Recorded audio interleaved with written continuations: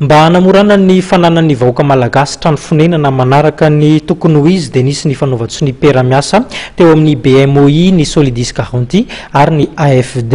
Ny alalana amin'ilay antsointsika hoe fampindramam-bola no afahana manatanteraka ny fananganana ireo trano ary mamerina ny vola tsikelikely kosa ireo mpindrana izany vola izany. Ho fanamorana ny fananganana, fikojakojana na fifidianana trano, na fifidianana tany ihany koa, dia nanolotra antoka ahafahana manamora ny dingana hahatongavana amin'izany ny Banky BMOI.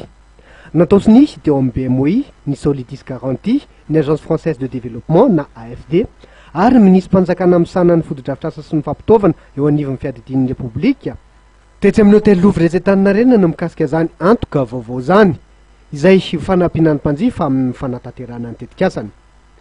Araka ny fanazavana nomen'Andriamatoa Rakotoson Angatsa, Tale Jeneralin'ny Solidis Garantie, dia tsy ilaina intsony ny firosoana amin'ny dingana ara-panjakana sy ara-pitsarana izay maka fotoana no sady mananosarotra. Ankehitriny kosa dia efa nanomana antoka ho an'ny mpanjifa ny BMOI sy ny Solidis Garantie ka namoraina izany dingana izany. Tsy mila manao antoka.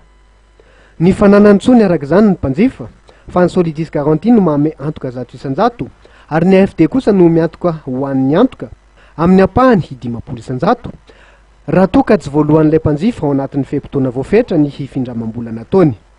Nomarihan'ity tompon'andraikitra ity hatrany fa tsy misy vola fanampiny alohan'ny mpanjifa mikasika izany antoka izany. Araka ny fanampim-panazavana nomena anay tokoa dia efa tafiakatra hatramin'ny dimy ambin'ny folo taona ankehitriny ny fe-potoana nomena ilay mpanjifa niroso tamin'ny findramam-bola entina hanatanterahana ny tetikasany.